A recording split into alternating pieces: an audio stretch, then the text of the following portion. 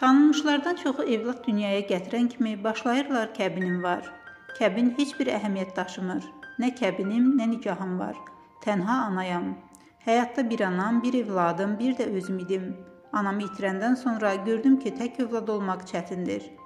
Axşam nöqtəz xəbər verir ki, bu sözləri prodüser Təranə Səmədova Nail Naiboğlunun stop layihəsində deyib. Hamilə olan Təranə evladının atasının kim olması ilə bağlı sualları cavablandırıb.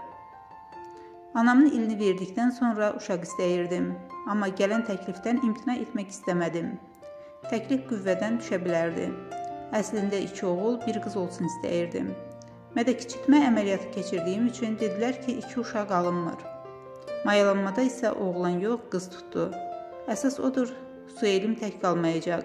Bilmək olmaz ömrüm hara qədərdir.